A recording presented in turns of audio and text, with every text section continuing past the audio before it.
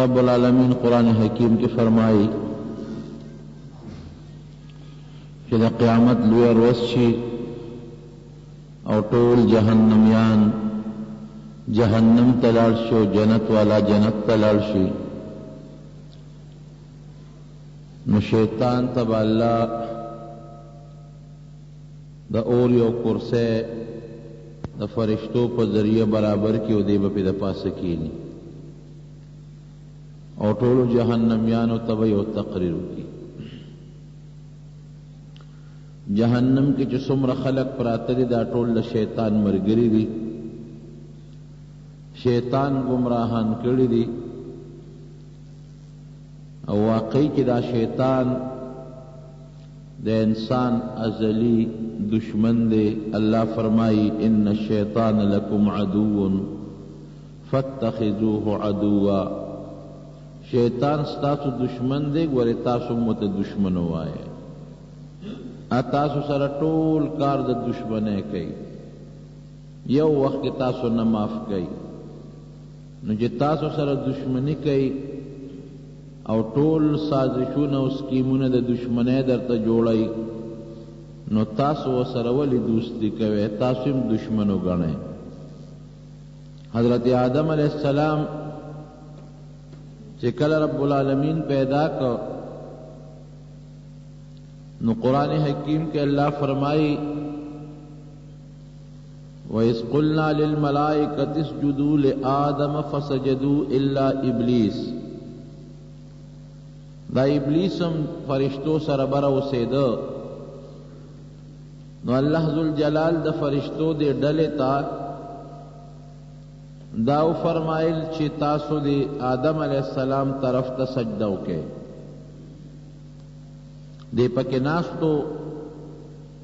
د الله حکم فرشتو ته هم شو، ده ته هم شو.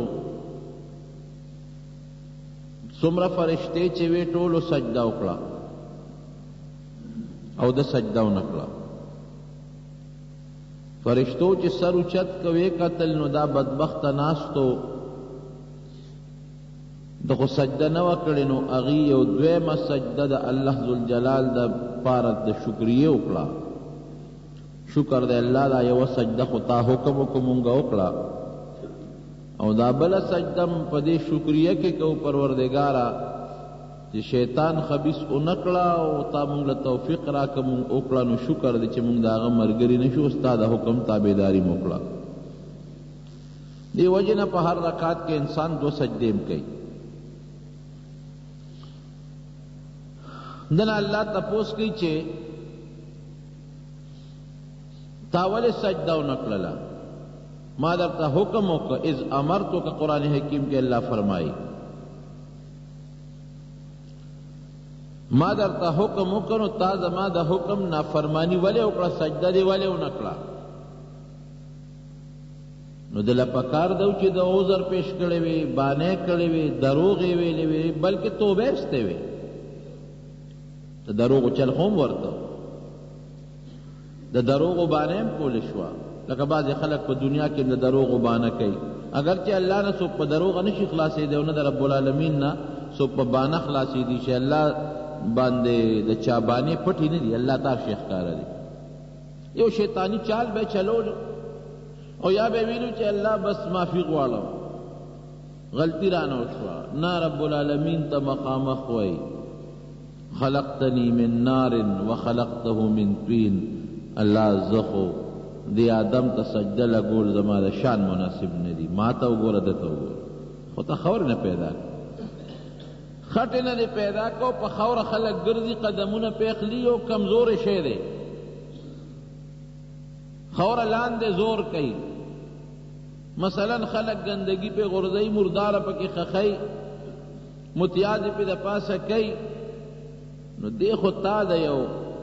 کمزوري څیز نه او بېکاره څیز نه جوړ کړ، او الله خلقتني من نار زه د اور د شغلې نه جوړ کړی یم، څومره خشته رڼا کوي اور، بره زور کوي، سوځول کوي. هیڅوک پرې طاقت نه شي لرلی. انسان اخلې پخلې رڼا ګرمي د اور سره تعلق لري، بر او چته شغله او لمبه وای نو زه د اعلی او بهترین څیز نه جوړ یم او دی د یو خاورې او د خټې د کمزوري څیز نه جوړ دی، ما غوندې لوی سړي لا ده ته سجده کول نه دي پکار زه ده ته سجده نه کوم ګوره د الله حکم یې ټکراو کړ. د الله حکم مقابله وکړه اوس الله ښه پوه دی په دې خبره د الله د حکم مقابله وکړه او د درا خبرم سرسری ده ګورې ځمکه اوچت شی دی اور خو د دې ځمکې نه پیدا دی که ځمکه لرګې پیدا نه کړي ځمکه بکره پیدا نه کړي ځمکه ګوګل پیدا نه کړي اور د څه نه بلې ځمکه چې نه اور لمبه پسې باندې کې پسې بلې ځمکه چې خوراک پیدا نه کړي په اور پخلی نه څه کوي؟ د سرسري نظر باندې خبره وکړه، د ځمکې خو ډېر لوی حقیقت دی. کبر یې وکړ، قرآن حکیم کې الله فرمایي، ابا واستکبر وکان من الکافرین، زما د حکم نه انکار یې وکړ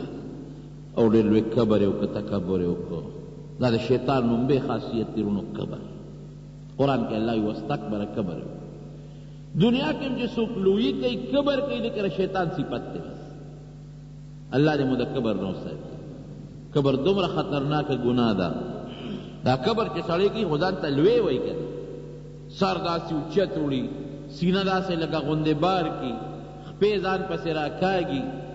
او د خلکو نه ځان داسې لږ لوی حسابوي، نبي کریم صلی الله علیه وسلم فرمایي، وي دا کبرجن خلک به د قیامت په میدان کې داسې واړه واړه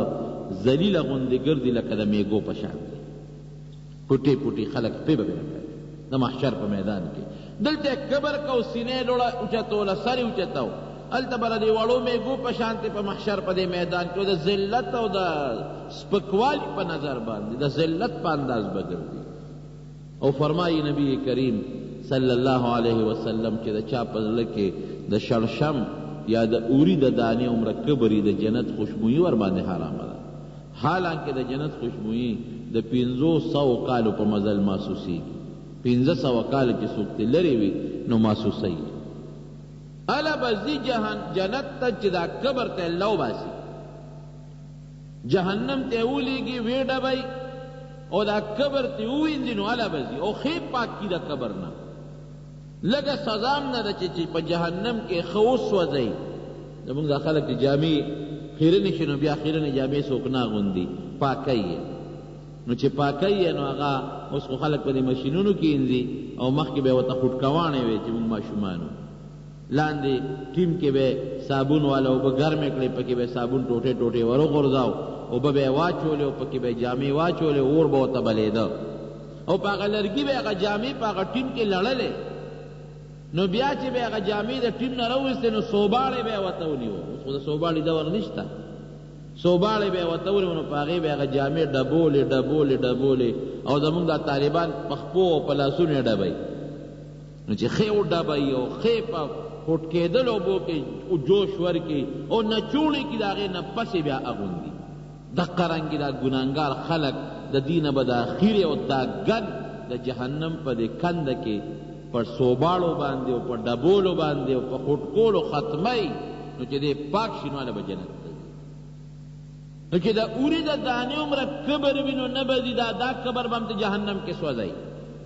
چې د دې اوري د دانې او د شړشم د دانې برابر دا پوټې قبر دام ته وسوځي نو والا به جنت ته بیا ځي او دا ولې نو په قبر ولې الله خفه کېږي ځکه دا د الله صفت دی نو چې زما یو شي ورته ما سره ما نه هغه غواړې ما نه په زور غواړې نو زه به سره خامخا جګړه کوم الکبریا او ردای حدیث قدسی د نبی علیه السلام فرمایي چې الله وایي چې فرمایي چې لوی زما جامه ده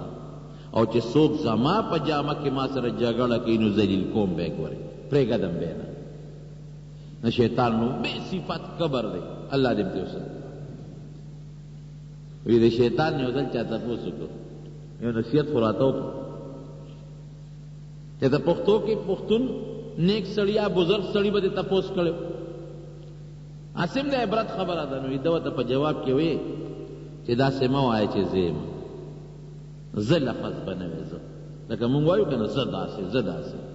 داسې مه وایه چې زه دا خو کبر دی که داسې دې ووې چې زه یم نو داسې به شې لکه چې زه یم ګورې که داسې دې ووې چې زه یم نو داسې به شې لکه چې زه یم او دا چیلی چې دا وی دا چیلی مې مې کوي مې مې کوي مې معنا هم ځکه ده مه کوي نو چې مه وکړي نو سهار چې ګورې د قصاب په تخت باندې هغه سر لاندې او پې پې راپاڅي کړه چې تېز دي کبر خطرناک شی لومبې د کبر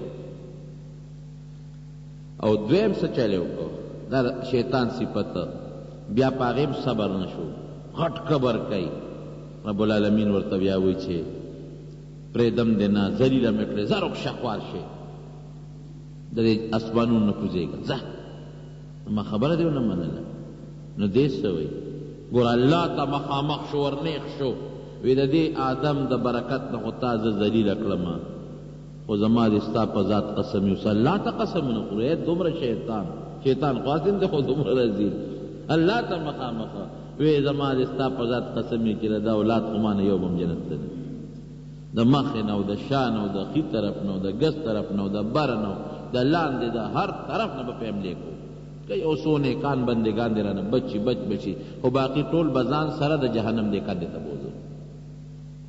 الله مو ته قسم خوري وي ته هم قسم خورې او زه هم په ذات قسم خورم چې که ته ډېر هم خراب او خطا کې نو چې ما ته سر ښکته کړه نو زه به هغه ستا هغه ټول چې ګناهونه دې په څومره کړي دي هغه په اوبو به ورله ووینځم. ته هم تکړه شه. ماته قسمونه خوري را ذلیل یک راوی شړو پابندی نه ولا ګولې چې ته جنت کې نو سه خو بس په مخه کله کزوې ملک دی جمعات نه وځه نو سړی خو بیا هم راځي آدم علیه السلام جنت کې اوسېده د اوس دویم شیطانت ته ګوره وسوسه ورته ورواچولله حضرت حوا رضی الله عنها باندی آدم علیه السلام پیغمبر دی په هغه خو یې وس نه رسی حضرت حوا رضی الله عنها علیها السلام جنت دروازی له راغلی وه دی ورغی وی الله خو جنت کی اوسئ تاسو هغه خو یې نه پیژنی او بالکل الله فضل دی څه نه منې کړی وی یو بوټی دی هغه نه منې کړی دی له بګوت نه ورته وي دغه بوټي له ګوتې يو سه چل په دې بوټي کې دی ګورې که دا بوټي له ګوتې يو نه ړې او دا هم ونه خوړه نو دنيا ته هم کوزئ اسمانونو نه لاندې يو ځای دی هلته هم کوزئ او که د دې بوټي نه هم خوراک وکړو دې بوټي کې دا کمال دی چې همېشه او په جنت کې نو ورته وایي، نه نه داسې چېرته کوو، موږ خپل الله منې کړي یو. دی ورته قسم خوري، زما دې قسم په خدای وي، په دغه الله چې درته ګوري رښتیا وایې. قسم یې ورته وکړ. بي بي حوا آدم علیه السلام ته قسم وخوړ، وقاسمهما اني لکما لمن الناصحین، قرآن کې الله فرمایي. دواړو ته یې قسم خوړی، زما دې قسم په الله وي! نو هغوی خو ړومبی قسم، دی ړومبی قسم واورېد، دې نه مخکې خو یې قسم نه اورېدلي، هو د الله په نوم قسم دا رښتیا وایي، ښه دا کاکا رښتیا وایي، ځکه هغوی خو د دنیا دا قسمونه نه اورېدلي چې په دروغ دې ملا څوک قسم خوري، د الله نوم دې ملا څوک په دروغ اخلي، قسم ګورې په دروغ ډېره لویه ګناه ده. نبی علیه السلام فرمايي، اکثر دا چې کوم خلک تجارت پېشه خلک وي او خپله سودا خرڅوي دي قسمونه ډېر خوري. هلکه دا غنم ما په سل روپۍ من اخیستي دي، اخیستي به یې پاتیایي مثلا. دا پټی ما په زر روپۍ اخیستی دی، اخیستی به یې مثلا په اته سوه وي. دا کپړه او دا مثلا دا څاروی ما په دې اخیستی دی، اخیستی به یې د هغې نه په کمه وي.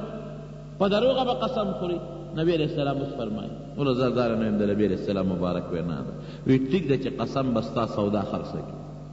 او دا قسم به ستا سودا ګران هم خرڅه کړي خو د دې سودا د دې پیسو چې کوم برکت دی هغه به دې ختم شي. د سلو روپو شی به په ته یو نیم سو خرڅ کړي. ممکن ده که دغه سل روپۍ ستا جیب له راغلې وای، به د امانت وې، دی کې به ډېر لوی برکت و او دا یو نیم سو چې کور ته راځې یا به دې بچې لا جوړوي، یا به دې په ښځه څه چل شوي، یا به درته بل مصیبت جوړي، هغه یې پنځوس څه کړې، هغه سل به نور هم ورسره لاړې شي،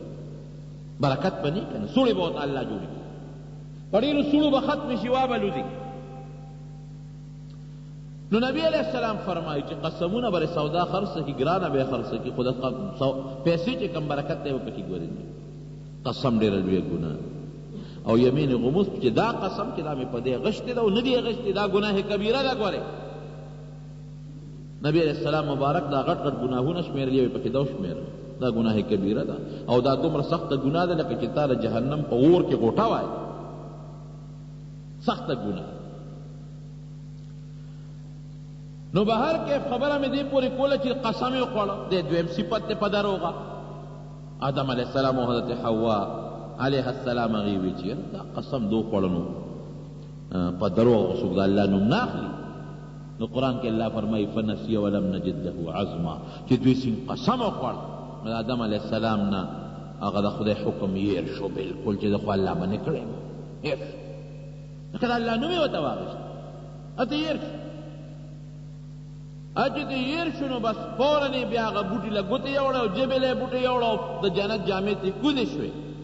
ما تاسو نه وې منع کړې، الم انهکما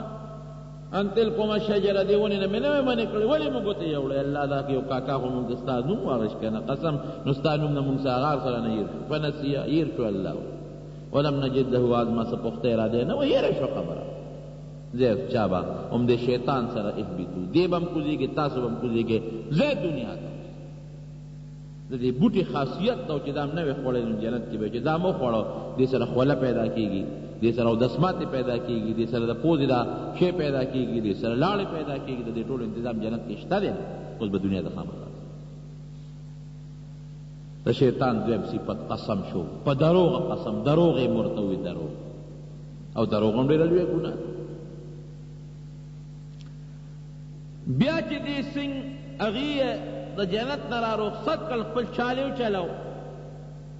نو علما لیکي مولانا عبدالحی صاحب رحمت الله علیه لیکي نفع المفتی وسائل کې وې دې په دریاب راغی را دا غټ دریاب دریاب کې دا کبانو تاوېدل لا تاوېدل نو کبله ورغی یو غټ کبله وی غم خو درته جوړ شو که څه چل دی وی چه الله ادم پیدا کړ داغه ادم به دی زمکی ته راکوس که داغه به بچی پیدا کیږی ستاسو ښکار به کوي خوری به هغه کب په منډه نورو مرګرو تالو وی په داغه مصیبت وړیدو ادم خدای پیدا که دنیا ته برازی او مونږ به خوری او مونږ به ښکار کوي نو مولانا عبدالحی صاحب په دغه نفع المفتی والسائل کتاب کې لیکلي دي، رساله ده، وایي الله د کب نه ژبه ختمه کړه، چې ړومبی شیطانت خو هغه وکړ، دویم ورپسې تا وکړ چې ملګري له دې په منډه سوال جواب یووړ. مرګ خو به راځي نو یا په ښکاره او یا په بل څیز یا په بل څیز نو بل صفت یې شیطانت شو، شیطانت ډېره لویه ګناه ده. او دا په مونږ کې لوی رواج دی که یو ته یو څه او بل ته بل څه او دا دونه خطرناکه ګناه ده نبی علیه السلام فرمایي من کان ذا وجهین فی الدنیا کان له یوم القیامة لسان من نار څوک چې په دنیا کې دوه پړې کوي یأتی هؤلاء بوجه دې سړي له په یو مخ راځي او دې بل ته بوجه په بل مخ راځي یو ته یو څه وایي، بل ته بل څه وایي. د قیامت په ورځ به د دې شیطان په دې خوله کې د اور ژبه تاوېږي راتاوېږي. خوله کې به یې اور اینولي وي.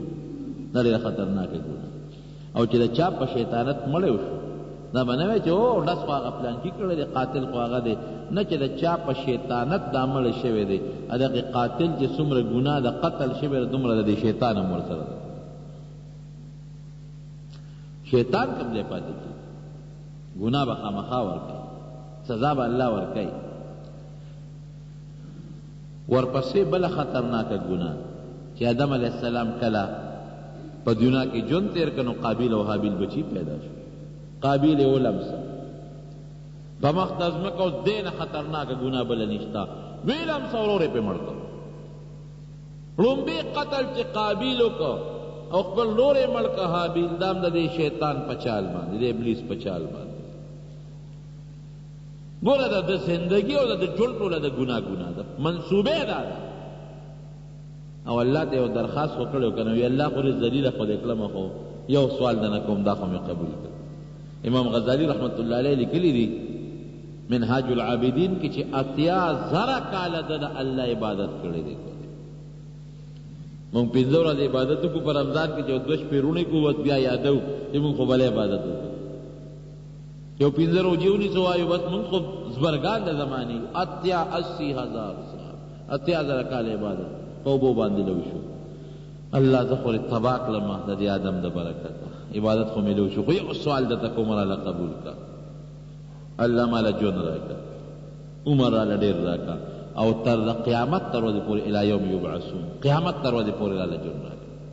چې خلک د قبر نه پاسي هغې ورځې پورې نو زمونږ د علما لیکي دلته خپل چال وچلو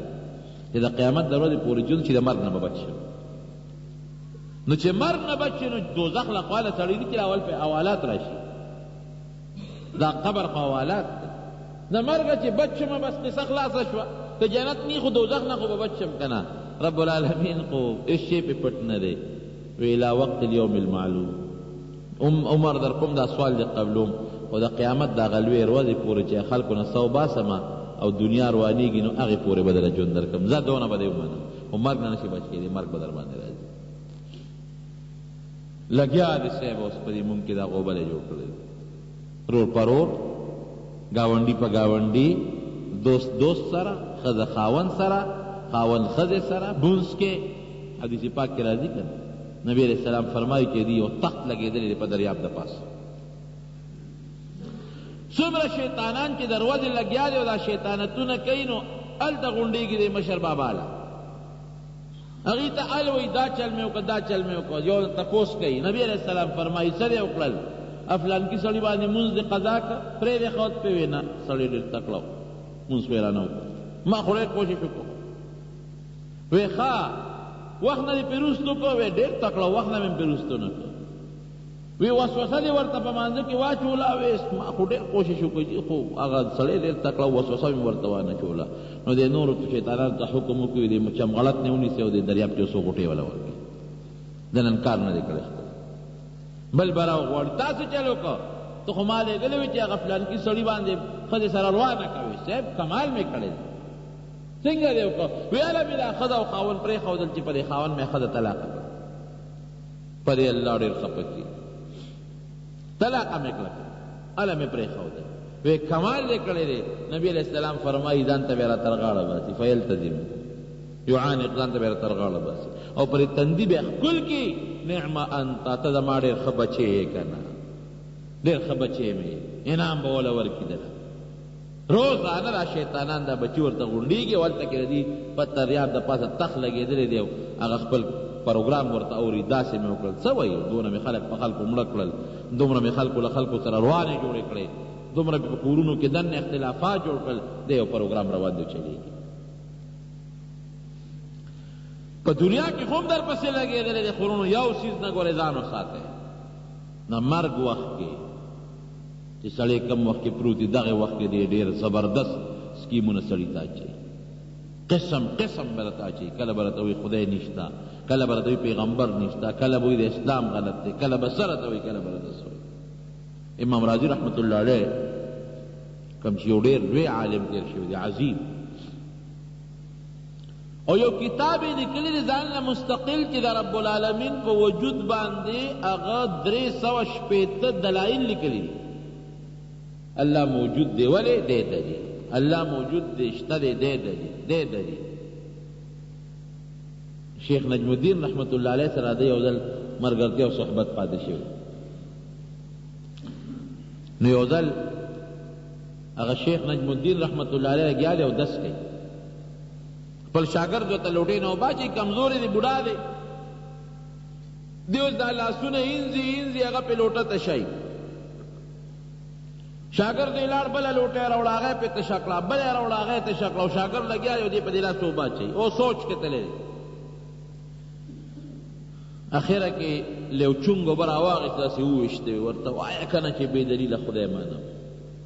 داسې ووایه او بیا شاګرد ته یو بل راواچوه او داسې یې وکړه، شاګرد دې تپوس وکړي، صیب دا موږ خو څه پوه نه شو، دا خبره دې چا سره وکړه؟ او نن خو دې په دومره سوچ کې تللی وې چې په بلا لوټې مې په دې یو لاس درله تشې کړې، حالانکه اودس کې اسراف به نه کړې. وایي الله تعالی ماته امام رازي رامخامخ کړ، خو ډېر لرې و، د میاشتو په مزل. دا کشف ورته وایي. راته الله وښووم امام رازي رحمت الله علیه لوی عالم بهترین زنکدن کې پروت و خدای راته وښووه او د زنکدن وخت کې ولا شیطان راغلی دی هغه ورته ناست دی ما ته هغه دواړه خدای وښووه شیطان ورته وایي الله نشته دی ورته وایي شته دی ته ځي بیا ورته وایي دا دلیل خو دې بېکاره دی مړه ناوله باطل کړي نو امام راضي ورته دویم دلیل وایي شیطان ورته وایي دام خراب دی دام ټیک نه دی په دې دا دلیل دی کمزوری دی نو ورته وایي دا دریم وایي دا دې هم کمزوری دی په دلایلو به الله نه پیژني د الله د پیژنګلو دپاره غټ دلیل څه دی غټه هغه د کائناتو ته وګوره د نور او سپومې او د بوټو ته وګوره د خپل ذات دی دې نه غټ دلیل ایو زمیدار لوي شیطان د انسان په شکل لاغې بابا خدای شته یو څه دلیل دی وی دلیل غواړي وی او دونه مزیدار دلیل دی ودرېږي لږ صبر وکړه نو قلبه ودرولو د غوان هغه چوکۍ ته یې ګوتې کړې ورغی ورپسې او شیطان ورته دلیل ښایي ته خو ودرېږه چې دلیل درته اوس وښیم چې پوه شو چې دوی مې اوس تنکوي او وایي مې نو تختېد دی وی خدای دې تباه کړه بې دلیله خدای یې منه دا زه چې د مور په ګېډه کې نهه میاشتې مې تېرې کړي نه راباندې رڼا لګېده او نه راباندې نور لګېده نه ډیران شته او نه ټټی شته او نه بیت الخلا تا شته نو دا انتظام مال چې کم ذات کړی دی نو وسه شته کنه ځکه دا بچی خو چې د مور نه پیدا شي نو ته په دغه پرده کې دوباره بند کا چې دی دوه منټه ژوند تیر نو خو هلته د ژبه ګرځي نه پوزه ګرځي نه سترګې ګرځي نه سترګې ړندې دي نه غوږونو کې دننه اوبه تللي دي اوبو کې ډوب پروت دی اوبو کې ډوب پروت دی، نه یې سترګو کې اوبه ځي، نه یې په غوږونو کې اوبه ځي. او داسماته کې دی خوراک په کومه کوي؟ او هغه خوراک په کې چې نه پیدا شي، نه متیازې وکړي. نو که په نهه میاشتې پس پیدا شو هم متیازې پیدایښت نه پس کوي او که په لسه میاشت پیدا شو نو هم پیدایښت نه پس کوي. نو ته به وایې چې او د ده ټیم خو نهه میاشتې و، دا میاشت خو د مور ګېډه کې وروده او داسماته چې پیدا شو دی او کوم دی هلته ولې نه کوي؟ د الله د دلائل پرېدوه بس دومره دي چې هغه دا کائنات دې ټول ډک دي پخوا به خلک ویل په دې قبر کې خو به دا څنګه دا پیغمبر علیه السلام به څنګه روزه ورته وښي نو اوس خو درته ټي وي او دا د موبایل ټلیفونونه ورسره ته خدای پاک وکړو او کمپیوټر یې خو دې ولیدل دا سکندونو کې به څنګه دا خبرې هلته رسېږي اوس هغه هر څه درته معلوم شو دې دا راته الله ښیي ګورې دا د الله دا ساینس هم رب العالمین انسان ته په دې ذهن کې دا طاقت او دا عقل واچوي نو هدف کېږي هر ساینس کې ایجادات نه شي کولی انسان یې کوي انسان ته د عقل الله ورکړی بهر کیف وې چې دې وته وې دا دلیل دې بیکاره وې ښه دا بل وې دا هم ټیک نرې وې ښه دا بل دلیل وې دا هم ټیک نرې وې درې سوه شپېته دلایل یې ولا ټول برباد کړل وې زه وته نیغ ګورم چې خدایا اوس به امام راضي تکړه شي وې مې چې بس کله اخیری دلیل دې کله مولا تبا کنو دا امام راضي خو به بی ایمان له دنیا نه لاړ شي یو چونګ وبه مې راواغشتې ورو مې وشتې وې رب العالمین زما غ چونګ داغه سینې ته ورو رسولې او ته مې وې چې نیک بخت ورته وایه چې بې دلیله الله منم وې بې دلیله الله منم دلایل دې پرېږده نو شیطان دې پنجې وویستلې او سه یې ورکړه دې دغه وخت کې هم درته ګورې راځي ځنکدن وخت کې به راته کښېني کله به راته یوه عقیده را مخکې کوي کله به راته بله عقیده مخکې کوي کله بله عقیده یاد وساتئ په رب العالمین خپل اعتقاد او خپل یقین ګورې محکم وساتئ مکمل دا خپل یقین وساته چې خالق د دې کایناتو، مالک، رازق، بیماري پیدا کوونکی، لر کوونکی، ژوند، مرګ، بچي ورکول، دا ټول ګورې بغیر د الله نه بل څوک نه شي کولی. دا عقیده مضبوطه کړه. نه بیا شیطان درله وخت کې راځي به درته به وایي، هو دا یو کار خو پکې الله هم کوي دا بل خو ورسره پلانکی هم کوي. دا یو کار خو دیم کوي دا بل خو پلان کیم کوي تزلزل عقیده به دی اوجړه کوي تباه او برباد به دی کوي ولی مالک د خیر او د شر د فایدې او د ضرر څوک دی رونو یو الله دی دا ذهن کې واچوي دا عقیده په الله او ساته چې رازق زما الله دی بل څوک نه دی او قسم قسم چالونه جوړي په دنیا کې بدر کې راغی ودرېد، د انسان په شکل کې راځي. ابوجهل ته وایي چې د یو لوی قوم د مشر په شکل راغی. وایي زما قوم را روان دی، دوه زره لښکر دی ورسره دوه زره. د یو لوی ملک د یو قوم د مشر په شکل راغلی او تکړه شه. ابو جهل هم خپلو ملګرو له خوشخبري ورکړه چې دا سړی راغلی دا بابا د پلانکي قوم مشر دی، د قوم هم د دوو زرو سره راروان دی، تکړه شی دی. هلته کې جبريل عليه السلام نازل شو بدر کې نو ته خو پېژندې چې دا جبريل عليه السلام دی. چې هغه نازل شو قرآن حکيم کې الله فرمايي ابو جهل نه يې لاس وويسته ده سره يې لاس نيولی او دواړه روان وو د هغه لاسونو يې ټال ورکاوه په دې ميدان کې د جنګ کې ګرځېدل. خو چې ویې لیده چې جبریل علیه السلام خو راغلی دی او زر کسان فرشتو سره راغلي،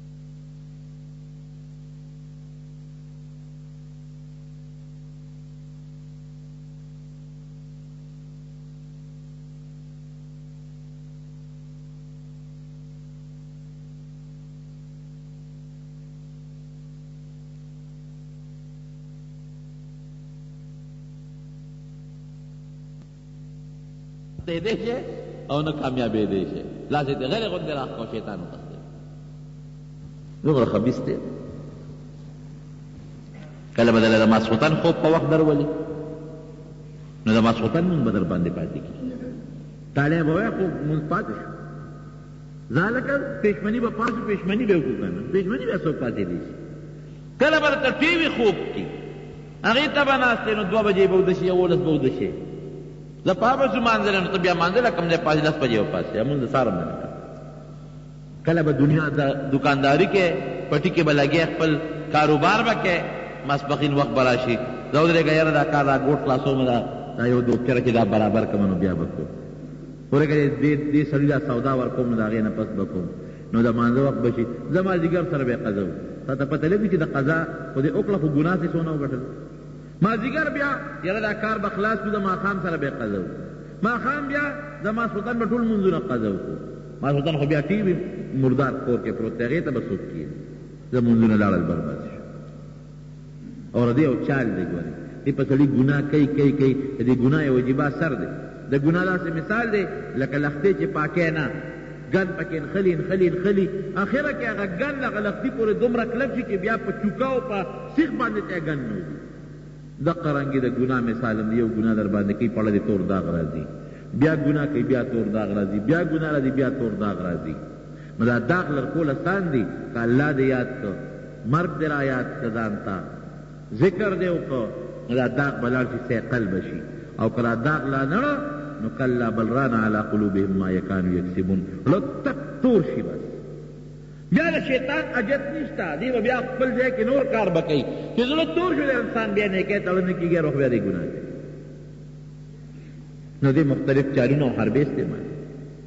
یو سړی چې تا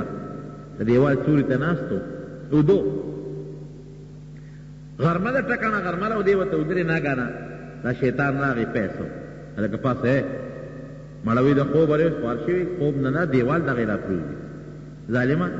که دا دیوال د باندې را پریوت مرې وی ښه وی ته نه ګورې دی ویښ دی غریب لاړه خواته چې لاړ دیوال را پریوت زر دی راغی او خو دا شیطان خو د انسان په شکل دی د بوډا بابا په خپو ورته پرېوت ویل خدای دې خوشحاله کړه تا خو ما سره ډېر لوی احسان وکړ که دې پاسولې نه وم نو اوس به دا دیوال راباندې راپروت وی په دې خوب کې به یې وژلی وم ډېر ښه دې راسره وکړل ته څوک یې یاره تا خو ما سره ډېر ښه وکړل شیطان یې او شیطان ته ګوره او خیر ښېګړې ته ګوره ته شیطان نه ته خو چېرته د خدای نیک بنده یې څوک ولي څوک زبرګ انسان یې ما سره څونه وې شیطان یم کنه خدای والی یې وې نه شیطان څوک د مرګه بچ کوي وې ظالمه شهید کېدې اوس به تم راته جنت کې تاوېدې را تاوېدې شهید کېدې که دیوال د باندې را پرېوتو مې ودرېږه چې شهادت دا مرتبه خو دې نصیب نه شي کنه دې نه مې وایستې ګوره قسم قسم چالونه ولا ورځي په مختلفو طریقو دله راتاویږي او چې کله مري بیا قیامت نه مخکې دا بچي یې پیدا کیږي ما د مولانا شمس الحق افغاني رحمت الله علیه نه اورېدلي یو ځل بیا مې کتاب کې مولیدل خو هغې نه مې اورېدلي وي دا شیطان اګی چې ځان سره ترخ کې ګرځي او چې کله هغې کې هغه بچی برابر شي نو ویې غورځوي نو بچی ترې وځي او په زرګونو بچي راوړي او یو شیطان په زرګونو نو دا بچی خو دغه سیسه مري او سره دغه کیږي چې کوم وخت کې د قیامت دا وخت را نږدې شي او الله تعالی دا نظام درهم برهم کوي نو د پسې به اسرائیل علیه السلام ورشي دنه هم سوباسي لکه بچونه چې سوباسي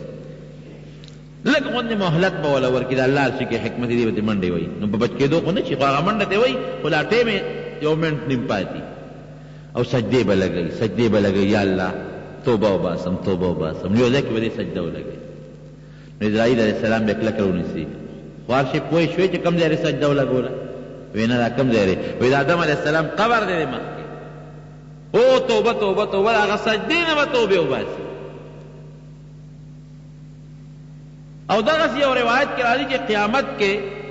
به دې سوځي سوځي په زرګونو کاله به دې وسوځي نو رب العالمین به یې راوباسي او آدم علیه السلام به ورته جنت نه راوباسي زه یو کار وکړه که نه اوس الله ته پته ده چې دې دا کار نه کوي وی یو کار خو وکړه که نه وی اوس دې آدم علیه السلام ته سجده ولګوه اوس دې هم بخم دا د الله په علم کې دی چې دې دا کار نه کوي زه که نه اوس سجده او که نه اوس تبخم څومره به جهنم کې چغې به وهي دومره روړې به وباسي چې جهنميان به د ده له چغو نه تنګ وي دومره چغې به وباسي وې دا اوس سجده ولګوه نو بخم دی وې دا چل نه کوم دا کار دومره ضدي دی ښه دومره ضدي ځان دا ضد هم ګوره د شیطان صفت نو چې کله دې جهنم ته الله دننه کړي یو حدیث پاک کې راځي چې کوم وخت کې یو انسان پیدا شي ماشوم او دې کله ورو ورو بالغ کېږي نو یو شیطان ورسره ملګری شي قرین ورته وایي د ده ملګری یعنې پیوست ملګری او سره ملګری شي نه ورسره تر مرګه پورې نور شیطانان هم لګېدلي خو دغه یو ورسره تر مرګه پورې وي نو د قیامت په ورځ چې دا کافر سړی الله جهنم ته غورځوي یا دا بدبخته ګناهګار چې الله جهنم ته غورځوي نو چې هغه کوم یې د ژوند ملګری شیطان و نو ابه ورسره په یو پړي وتړي په یو دغه به وتړي څه ورته وایي دا هتکړۍ باندې ځنځیر به وتړي او دواړه به جهنم ته اور ځی. مولوی صاحب دی خدای پاک وبخښی چی دا حدیث یی مونږ ته وی نو هغه وی وی هغه سزا ده انسان هغه عذاب په خپل ځای خو وی دا ډیر لوی شرم دی چی په یو زنځیر سړی له شیطان سره تړلی شوی او جهنم ته غورځی دی ذلت نه دی الله محفوظ وساتی چی جهنم ته رب العالمین وغورځی نو هلته به ورته د اور کورسی تیاره کړي نو دی به پری ودریږی او دا ټول جهنمیان به ورته مخامخ کینی ځکه نه دی یارانو ته خو لږ تقریر وکړه دا خو ستا د لاسه دې جهنم ته راغلي دي کنه نو دې به څه وایي وقال الشیطان لما قضی الامر ان الله وعدکم وعد الحق ووعدتکم فاخلفتکم یو وعده را سره الله کړی وي او سره ما کړی الله خدا وعده کړو چې مرګ شته جنت شته دوزخ شته عذاب شته خوشحالي شته دا څیزونه د الله وعده رښتونی بالکل چې څه ویلو بالکل رښتیا وو یو د سره ما وعده کړې وه چاته به مې وې خدای نشته چاته به مې وې دوه دي چاته به مې وې مرګ نشته چاته به مې وې جنت نشته چاته به مې وې دوزخ نشته فاخلفتکم ګورې ما ټولې وعدې در سره خرابې وکړلې ټولې غلطې ثابتې شوې وما کان لی علیکم من سلطان الا ان دعوتکم نو بیا د سترګو کې د جهنميانو لږې خاورې اچوي وایي ما سره مټه خو نه وې راښکلې چې راباندې مې زناکارګانې کولې ما څه د مټه خو نه وی رانیولی چی بت ته می درباندی سجدی کولی تاسو ذلی دی ما ما خو صرف د زړه کی وسوسه اچولی دا ګناه خو تاسو په خپله کوله ما کوم یو سړی د مټه نیولی دی او په زور می بت ته کینولی چی شابه سجدی وته کوه کوم یو سړی می په زور رانیولی دی او ګناه ته می کینولی چی شابه دا ګناه پی کوه وما كان لي عليكم من سلطان الا ان دعوتكم فاستجبتم لي زما خبره ومنه او چې هغه کوم الله ستاسو خالق دی، رازق دی، مالک دی، د هغه خبره هم نه منئ. ما انا بمصرخکم وما انتم بمصرخیه، نه تاسو زما له چغو جواب کولی شئ او نه زه ستاسو له چغو جواب کولی شم. وښه چغې او تاسو هم چغې وباسئ او زه به هم چغې وباسم. بدبختیانو چې کوم ذات رزق درکړ، کوم کور درکړ، کوم عزت درکړ، کوم ژوند درکړ، کوم مال درکړ، کوم بچي درکړل، کوم نعمتونه درکړل، د هغه خبره مې نه منله او زما خبره مې منله او ما کوم یو له مټه نیولی دی او ګناه ته مې کېنولی دی. دا یو تقریر به وکړي، دا زیات په خاورو او په سترګو کې خاورې اچوي. وروڼو دا زموږ خطرناک دشمن دی، ان الشیطان لکم عدو فاتخذوه عدوا قرآن حکیم کې الله فرمایي. دا ستاسو دښمن دی او دښمن یې وګڼئ ګورئ او ستاسو د نیکه د آدم علیه السلام او د نیا د حضرت حوا دښمن دی نو چې هر کله او د جنت نه د ده په وسوسه تاسو راوتی یئ نو د دې ظالم بدبخته ته خپل دښمن وګڼئ او اوس هم دښمن دی یو سړی چې هله پړق ورکړي نو نه یېرېږي ویده ځوالې وړي یو سړی چې هلته کنځل وکړي نو نه یېرېږي وی زما ته پلارکی وخت کی زما مور کنځلی وه زما ښځی کنځلی وه نو دا بدبخته خو سړی باندی دا چی څومره ګناهونه او دا کنځل کیږی خو له ده په وجه کیږی دا څومره چی سړی جهنم ته او د الله په غضب او په قهر اخته کیږی خو له ده په وجه کیږی کنه نو باید مونږ ومنو چې کوم حکمونه ته الله او د الله رسول ویلي دي که ته هغه حکمونو پابندي نه کوې دا د شیطان تابعداري شوه چه د کوم څیز نه الله او د الله رسول منع کړی او ته ترې منع نه شوې او هغه کار دې وکړ نو دا نو د شیطان تابعداري شوه. پروردګار رب العالمین دې موږ د شیطان د چالونو نه او د هغه د وسوسو نه محفوظ وساتلی کړي. دعا وکړئ د جمعې چه الله پاک راله حفاظت راکړي. یا الله شیطان د سکیمونو نه مو ساته. الله د در چالونو نه مو ساته. دوه دشمنان دي یو ته نفس اماره بالسوء وایي دا د انسان دننه د زړه دننه غل دی. او یو دا شیطان دی ابلیس دا د بار غل دی چې د کور غل او د بار غل یو ځای شي نو هلته کنډر کېږي که د کور غل نی د بار غل هم څه نه شي کولی. ګرانو محترمو اوریدونکو د شیخ الحدیث مولانا محمد ادریس صیب په دې ایک سو چوالیس نمبر کیسټ کې تاسو د شیطان چالونه او د مړي جنازې طریقې بیان تاسو واوریده دا به تاسو ته پېښور ښار کې بیرون کچرې ګېټ، اشرف روډ، سرې فقیر خان، ناصر خان کېسټ هاوس کې د ناصر خان او حیدر خان سره ملاوېږي، ټېلفون نمبر دی دو سو پچپن انتیس بارا. اګر چې زموږ په وطن کې اوس یو رواج جوړ شوی دی مخکې دا نه وو ویې لکه دې زما قبر له تلې دی او زم وله ځم او دې زما قبر له نه یې تلې زم نه ځم ده زما جنازه کړې ده زم ځم او ده زما جنازه نه ده کړې زه نه ځم. ده زما قبر کې سسکوره والې ده نو زم وام او که ده زما قبر کې نه ده والې زم نه خدای کو مونږ ته خو یاد دي د میرې او د دې کلی دا خلکو به دا سوچ نه کو چې دا مړې د میرې دی او کلا د کلی دی او چا به په زور د یو بل نه چاري اخیسته او خدمت پې کو داسې وکه نه وه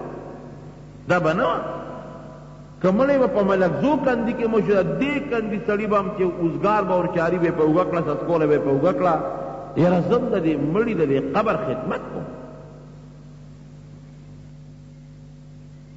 دا ټیک ده چې بعضې خلک یي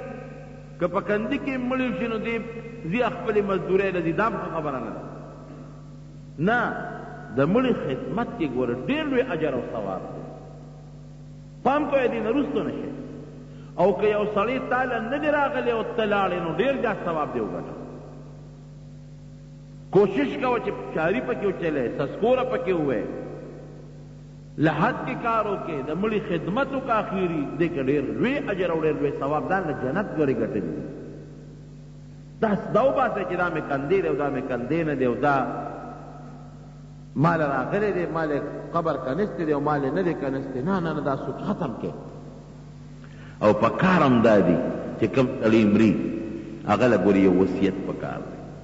که په ده د الله حق یا پې د بنده حق نو په کار دا دی چې دی هغه په کاغذ ولیکي او د بالغ سر دی کېږي چې غاړه بد دی الله ته لاړ نه شي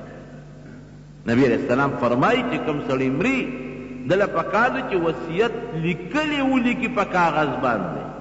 وارثان راوغواړي چې په ما ګورې روره دومره حق پورې دی پردې دا راله خلاص کړې دا راباندې د الله حق پورې دی حج مې مثلا نه دی کړی زکات مې نه دی ورکړی مال مې شته د خدای لپاره دا د ما غاړه خلاصه کړې. دا وصیت د له پکار وو وارثان دې ورته کینې او چې کله دې مړ شو د مرګ نه پس د ده سترګې دې فورا پټې کړي د ده جامه دې وتړي چې خولې وازه پاتې نه شي د ده اندامونه دې خواره کړي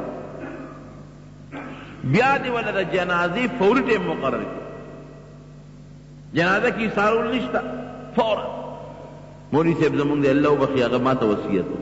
وایي ګوره که د روځې مړ شوم چې مې شپې ته پاتې نه کې که د شپې مړ شوم چې مې روځې ته پاتې نه کې او حدیث پاک کې هم راځي چې جنازه فورا کوه زر کوه ولې دوه قسمه خلک دی یا خو دا نیکو د دنیا د کړاو نه دمه شو نو الله له زر رسوه جنت له زر رسوه او یا دا ګناهګار او بد عمله وو نو چې بد عمله او د الله مخلوق او بندګان ترې خلاص شو زر یې کندې ته غورځوه چې مخلوق ترې نور هم خلاص شي دوه خبرې دي که زر به جناز مړی ښخی ټیمونه به نه ورکې چې دا سار مړ شي او شپه هم پکې تېره شو بله ورځ یې ښخی نه نه چې څومره وخت کې ستا قبر تیارېدی شو هغه ټیم اقدام د شپې هم پې جنازه کولی شې او د ورځې هم جنازه کولی شې دا رسم او دا رواجونه قطعا دا ختم کړې سار به مړي او ته به نه کنه دا به زه سبا له یا به مازیګر به مړي دا به زه سبا له کوم نه چې مازیګر مړ شم ماخوتن یې دفن شریعت باندی عمل کوه سار مړ شو ماسپخین نه چې څونه مخکې کیدی شي دفن کوه په شریعت عمل کوه هغه کار مونږ له پکار دی چې کوم کار رسول الله مبارک مونږ ته ښولی یا هغه په خپله کړو ښه د هغې نه پس چې کله دی دا یو څو مسایل دي دا درته بیانوم چې تاسو یې زده کړئ چې کله تا ولا جنازې وخت او ټیم مقرر کړ نو بیا ولا د کفن انتظام وکړه کفن، باندې هم زمونږ زیاتې پیسې لګي او بې ځایه مونږ اسراف کوو، ګناه کوو. که غریب دی، که قرضدار دی، که یتیم دی، د ټولو یو حکم دی، که مالدار دی او که غریب دی،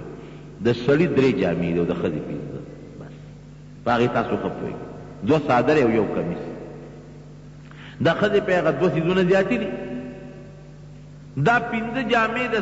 ښځې او درې جامې د سړي کوم کفن به ورته اچې؟ هغه کفن به اچې چې ده په خپل ژوند کې کومه عامه جامه استعمال کړي. موږ خلک څه وايو؟ هلکه لاړ شه او کفني سان وله راوړه. ده په خپل ژوند کې دا کفني سان اغوسته چې ته وله اوس کفني سان راوړې؟ ها ډیر اسراف به هم نه کې ډیر بذر به هم نه کې ولې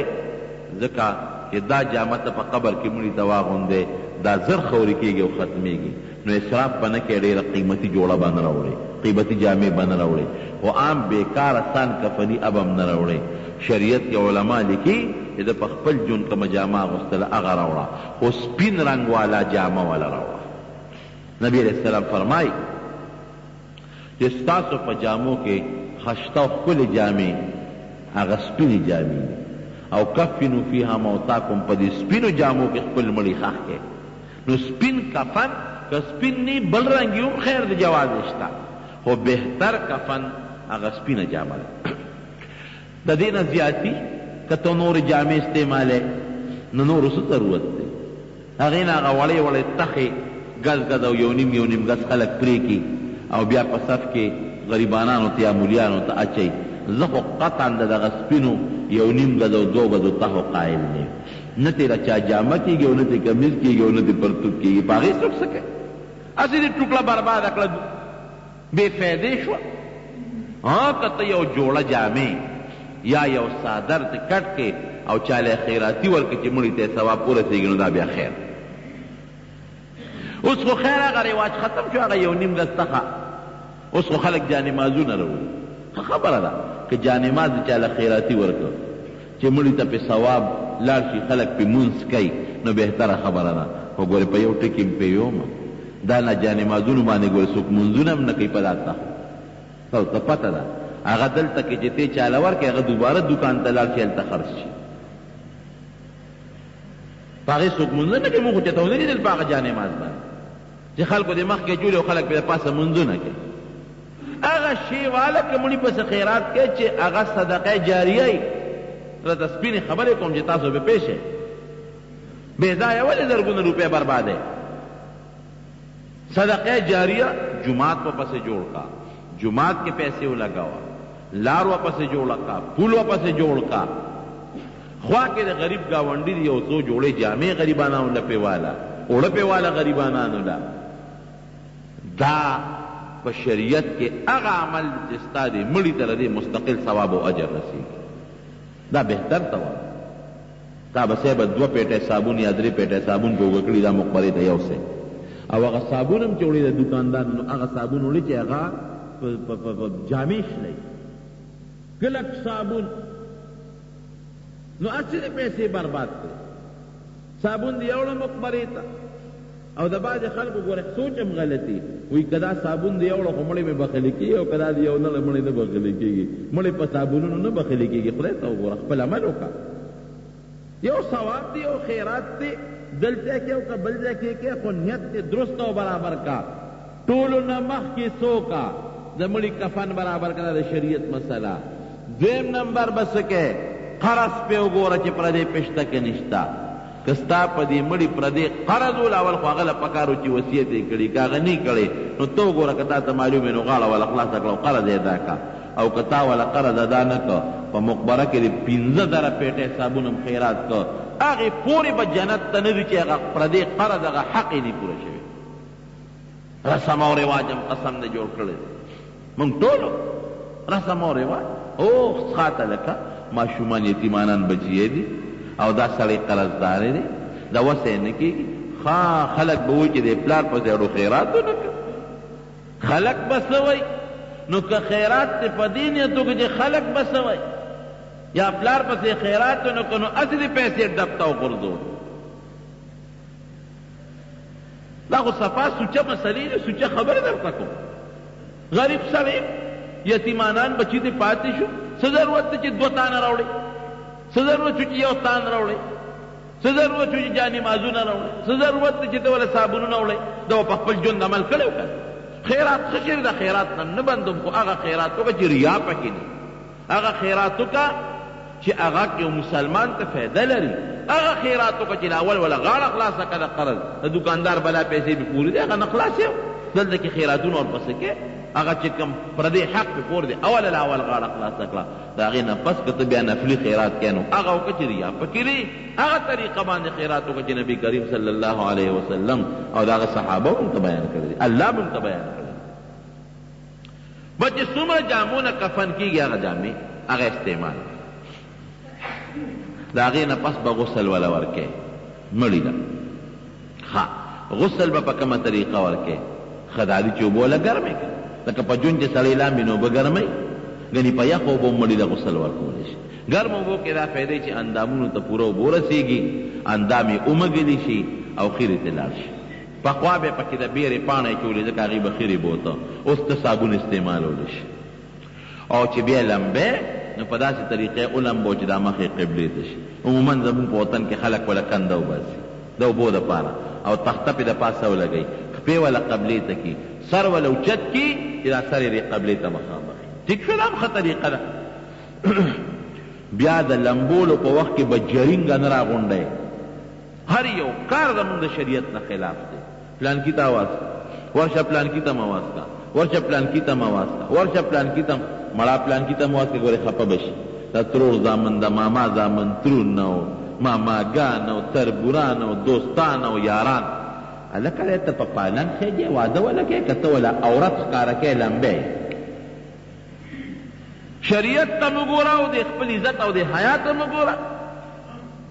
خلک به له څه لپاره راغونډوي؟ بس مختصر هغه کسان چې کوم کسان د مړي د لمبولو خدمت کولی شي. یو کس د اوبو اچولو لپاره کافي دی، بل کس د مړي د مږلو لپاره کافي دی، دریم ورسره امداد کول چې دا اندامونه ورسره اوړي روړي، رښتیا وایه په درې کسه مړی لمبول کېږي که نه؟ بس درې زامن کافي دي که نه؟ بس ها کافي دی پردي خلک مه راغواړه په پردو خلکو مړې مه لمبوه پخوا یې لکه ملا صاحب وله راوله چې هغه مړې ولمبوي ولې ملا صاحب ته د خپل مړي عزت ولی اخلي چل به درته وښایي چل څه چل دی ته چې په غسلخانه کې لامبې خو دغه لمبل دي که نه ته چې غسلخانه کې لامبې ملا راولې چې تا ته چل وښایي غسل خانه کې لام به د بڼي چل زده که کنه امام صاحب نه بس استنجا به ولا وکړي استنجا نه پس لاول لوټه استعمال که بیا اوبه استعمال که ګوره د جوند عمل ورپسې بیا چاردام ولا وکړه لکه په جوند سړی چاردام کوي خو لکه اوبه پوزه کې ولا لګه ګوته وه هغه تخه هغه لاس ته خلک اچي یا ګوته دا ښه خبره ده بیا وله په مخ اوبه واچوه، بیا وله لاسونه ووینځه څنګلو پورې ښې لاس مخکې ګس وروسته بیا وله ښیښ په مخ کې ګسه خپه وروسته هه د هغې نه مخکې مسح د لاسونو نه پس دا چاره دام او استنجا چې څنګ په جون سړی کوي دغسې د مړي په کار خوله کې هم لږه ګوته وله ووه څه پکې نښتي چې هغه وځي. ها خو علماء لیکي په دې خېټه نرې غوندې لاس ولا راکاږه ولې بعضې وخت کې انسان دې مري که خېټه کې څه شې پوتې وي هبه خارج شي استنجا سره به وله ووینځي اوس که داسې یو څیز د مړي نه په تخته باندې خارج شي ګوره هغه غریب خو دا نه نه دی خبر نو چې جرینګه دې راغوستي نو ایا د خپل مړي دې واغېسته او که دې وانه غوسته څه ضرورت دی چې د خپل مړي ایا ښه یو دوه درې تخې اوساته اوله په دې عورت باندې ور واچوه چې د لمبولو په وخت کې د هغه عورت خلکو ته ښکاره نه شي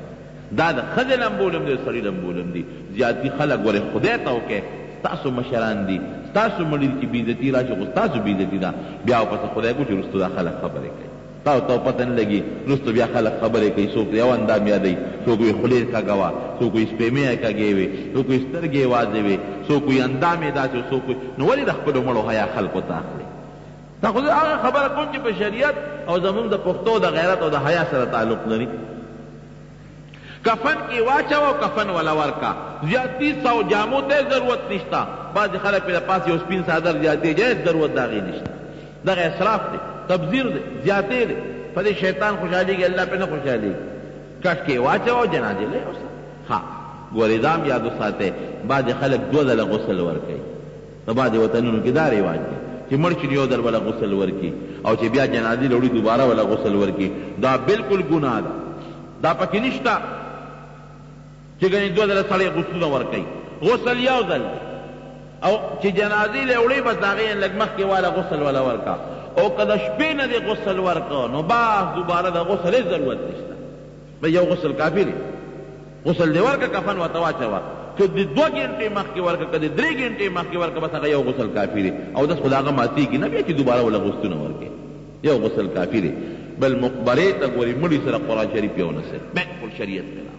دا د قرآن شریف توهین دی قرآن فایده ورکوي خو چې ته تلاوت وکړي قرآن فایده ورکوي خو چې ته په عمل وکړي قرآن فایده ورکوي خو چې ته یاد کړي قران فایده ورکوی خو چی ته ولولی او که ته ځان سره قران شریف مړی سره په دغه کی وړی بعضی خلک وایی قران شریف شا بیا راوړی دا ګوره خدای ته وګوره د قران توهین ګناه ده قران بلکل مه وړی مقبری ته څوک وایی پلانکی شی راوړی او څوک وایی پلانکی شی راوړی دا شریعت کی ښه نه دی څوک پکی تخته الوا پخوی د تخته الوا ګوره د هندوانو رسم خپه کیږی مه دلته به هندوانو چه مړی به پکی وچو دی مشرانو نه تپوس وکی ما نه تپوس مه کوی ځکه چه ما د هندوانو دور نه دی لیدی خو چه کوم سپین ږیری مشران دلته پاتی دی د هغی نه می اوریدلی چه هغی به د تختی چه مړی به یی لمباو د تختی حلوا به یی پخوله دی مشرانو نه تپوس وکی هغه رسم رواج مونږ شروع کړو بی ځایه دی دوه دری سوه روپی ولګولی او هغه حلوا ماشومان هم نه خوری وی بین ته ځی. لوی خلاصه کې وړو له ورکه د تختې الوا د شابه سوجي روړو الوا پخه کې ولې دې کې څه چل دی په الوا کې موږ په دې وطن کې الوا پخې دلته مخ کې یو بل علاقه ده هغه کې کباب پخې الکه دا کباب ولې پخوي یاره وی د ځن کدن سخت په تیر شوی دا کباب تر سکون شي دی یاره مې خشې خو دې واقعي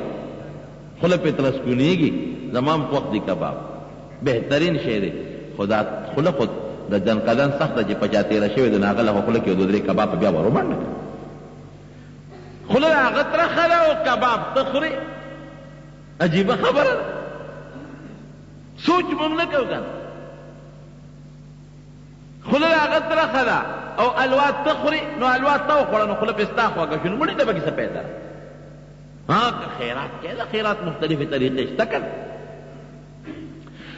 بیا بل رسم بل رواج دا د دین مسلې دا زده کړئ وروڼو زما او ستا د فایدې لپاره دي بیا چې کوم کوټه کې دې مړی ولمبه او څلوېښت ورځې په هغې کې ډیوه بلوي دا ولې وي د مړي دا روح دلته راځي چې رڼا یې ورکړي الله اکبر د مړي روح راځي چې رڼۍ وته دا په لاره چې په دې تیاره کې د مقبرې نه را روان و نو په تیاره کې ورته لاره ښکارېده او دلته ورته رڼا کېده. هلته خو تیاره وه. بیا خو د مقبرې نه تر د کوره پورې یو شان چراغان ولګوه چې په دې لاره راځي چې په رڼا راځي. او دا کوم کتاب کې دي چې مړی راځي چې کوم ځای لمبو دي هلته د مړي روح راځي؟ دروغ ټول. د مړي روح که نېک دی نو په علیین کې پروت دی. په جنت کې پروت دی، جنت فردوس کې پروت دی او که بدعمله دی په سجین کې پروت دی. د مړي روح اوزګار نه دی، ایا په میوو سر دی که نیغ دی او یا پرې درزار شورو دی، لړمانان پرې نښتي دی، هغه دې ته اوزګار دی چې تا کره کور ته راځي، شمع بلوه او ډیوه بلوه، دا ټول د هندوانو رسم، دا ما اوریدلي دي چې هندوانو به وي دا چل کاوه دلته. بس چې مړ دی کومه کوټه کې ښه بعضې له خلکو کې لا دا رواج دی چې کومه کوټه کې دې مړی ولمبه و هغې ته بیا څوک ورځي نه یریږي پکې ای خدایه پاکه څه چل شو ته په څه نه یریږي څوک وي دلته کې روح راځي او څوک وي پیریان راځي او د مړي د روح نه دې پیرې هم پکې راځه بیا جوړ دا رسمونه رواجونه دا په شریعت کې بلکل خطا دي مقبرې ته چې وړې سنګه به وړې زر به وړې زر نبي عليه السلام فرمايي خو ټوپونه به نه ورکې ټوپونه به بلکل نه ورکې زر به یو سې ښه دا ده چې هر مسلمان د بل مسلمان د کټ په وړو کې امداد وکړي نو چې مقبرې ته دې ورساو بیا به یې سارې نه فوري به جنازه کړي علما لیکي دې درې وختونو کې جنازه جایزه نه ده چې کوم وخت کې نور راخیژي کوم وخت کې پریوځي او کوم وخت کې په سر ولاړي خو که مقبرې ته په دغه وخت هم جنازه ورسیده نو دغه وخت کې هم کوه وروسته کوه بیا به دا ټیم به نه مقرره قصدن به دغه وخت کې نه خخې خو که داسې ټیم و چې دغه ټیم نه تا جنازه ورسونه بیا هم دغه وخت کې هم کوه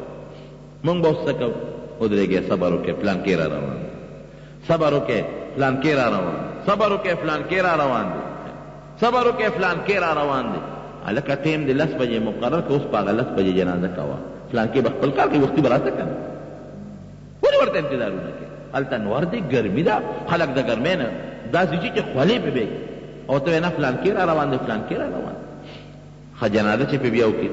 مړی چه ګوری رونو له اول خو مړی کتل اړو ښه ندی په نسائی شریف کی یو حدیث دی چه مړی مه ګوری خو که ته بیا ګوری او د عبرت په نظر یی ګوری